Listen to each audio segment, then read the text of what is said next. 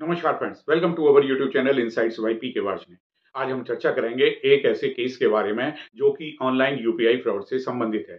यानी कि online UPI fraud के मामले में बैंक को अब कस्टमर का पैसा लौटाना होगा। And this was the major verdict of the consumer court case है सूरत के नवसारी का, विधि स्वाग्या वर्सेस एसबीआई तो सबसे पहले हम कोर्ट के डिसीज़न को जानेंगे, फिर कस्टमर ने क्या आर्गूमेंट दिया था बैंक ने क्या आर्गूमेंट दिया, फिर केस क्या था।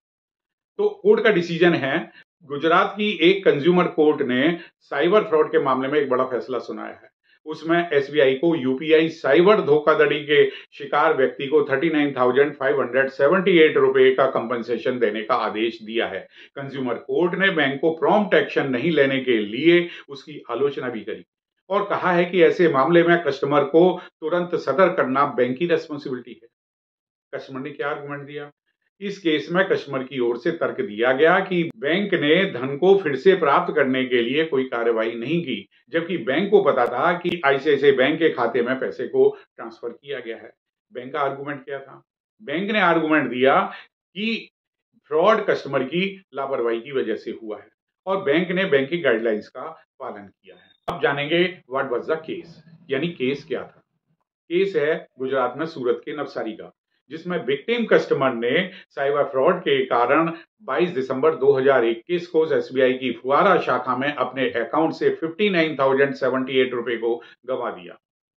और उसने तुरंत बैंक को इसकी सूचना दी दे दी। पुलिस में कंप्लेंट भी करी साइबर क्राइम हेल्पलाइन में भी शिकायत दर्ज कराई। पुलिस फेडरल बैंक के अकाउंट में जमा उन्नीस हज़ार पाँच सौ रुपए को फ्रिज कराने में भी कामयाब रही, जिसे बाद में कोर्ट के आदेश से विक्टिम के अकाउंट में जमा करा दिया गया। अब बाकी बचे thirty nine thousand five hundred seventy eight rupee, जिसकी वसूली के लिए बैंक ने इमीडिएट कोई कार्रवाई नहीं करी, जिसके लिए विक्टिम कस्टमर ने एसबीआई को एक लीगल नोटिस भी भेजा।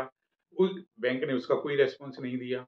और जब कोई रेस्पॉन्स नहीं मिला तो विक्टिम कस्टमर ने कंज्यूमर कमिश्नर को अप्रोच किया। बैंक के अनुसार, बैंक ने यूपीआई अथॉरिटी से कांटेक्ट भी किया, जिसमें पुष्टि करी गई कि आईसीआईसीआई बैंक में पैसा ट्रांसफ़र किया गया और राशि को फ्रीज कराने के लिए उपाय भी करे गए। लेकिन सीडीआरसी ने बैंक के इस कंटेंशन को रिजेक्ट कर दिया। उसके अनुसार विक्टिम ने धोखाधड़ी के बारे में बैंक को तुरंत ही सूचित कर दिया था। लेकिन यह साबित करने के लिए कोई एविडेंस नहीं है कि बैंक ने इमीडिएट कोई एक्शन लिया। यदि बैंक तुरंत ही कोई एक्शन लेती तो वह अमाउंट तुरंत ही फ्रिज हो सकता था। अतः बैंक इस लापरवाही के लिए कस्टमर को हुए फाइनेंशियल लॉस के लिए पूरी तरीके से जिम्मेदार है। तो आज की वीडियो में इतना ही।